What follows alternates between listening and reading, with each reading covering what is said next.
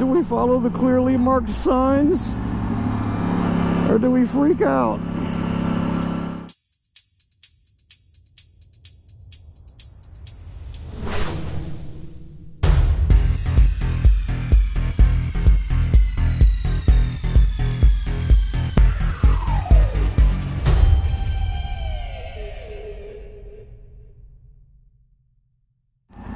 What's up, YouTube?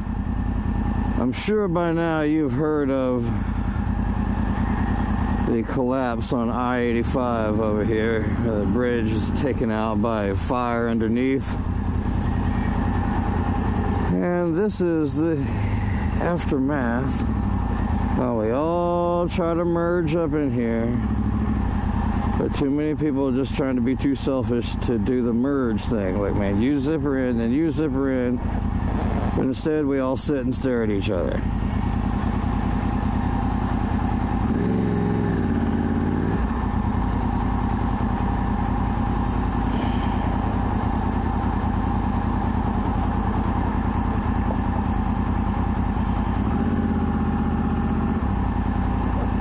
Anyway, the bridge is down over here, both sides, I 85.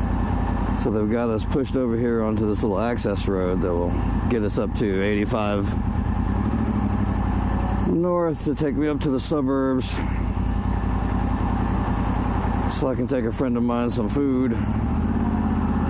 He uh, has some health issues and hasn't been able to make it out to the store or anything lately. So.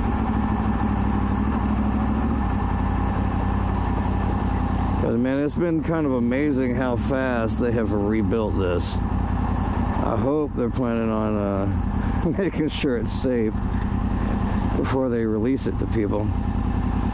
But they have been working 24 hours a day. They've got millions of dollars in bonuses if they get this done on time or early. That's a yeah, they got a lot of money on the lines. They've hired a whole lot of extra crew,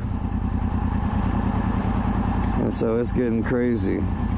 Uh, dude, I would have let you over if you had to come on up, but since going to sit back there and kind of be a douche about it, you don't get to come up here. Oh, anyway, this is all confusing to all these people, so they're freaking out and they're not able to handle this little bit mile of road that's squeezed down a little bit.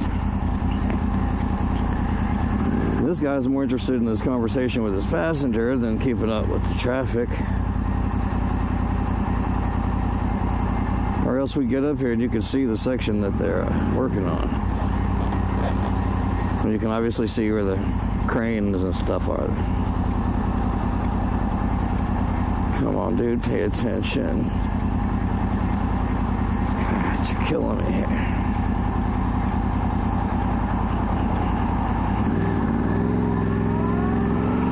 Oh. There we go. That'll get me around a little bit.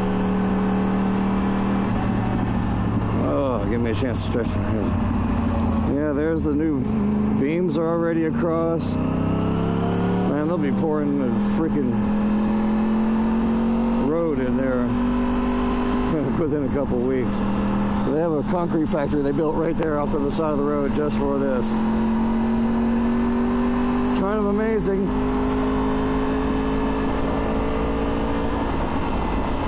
I'm so glad you jumped over here in front of me just to,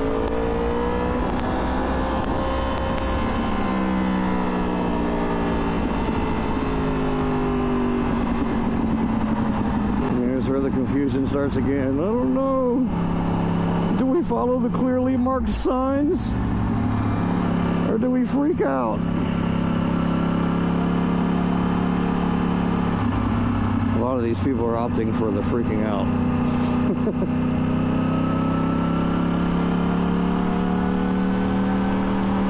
Doesn't help that horse trailer guy here has decided that he'll be in the left lane and just block everything. No, freedom! All right, YouTube. I-85 closure, there it is.